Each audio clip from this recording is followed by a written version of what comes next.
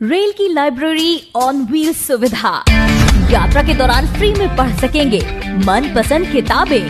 Train से यात्रा करने वाले लोगों के हाथ मन पसंद किताब लग जाए तो यात्रा का आनंद और भी ज़्यादा बढ़ जाता है। कृपया ध्यान दीजिए। यात्रा को रोमांचक और आनंददायक बनाने के लिए भारतीय रेलवे समय समय पर नई पहल करती है।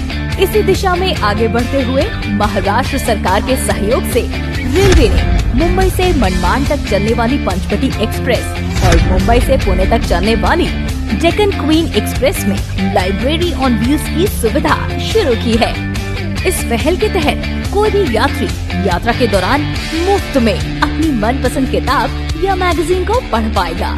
साथ ही अपनी मनपसंद किताब या मैगजीन न होने पर सुझाव भी दे सकते हैं।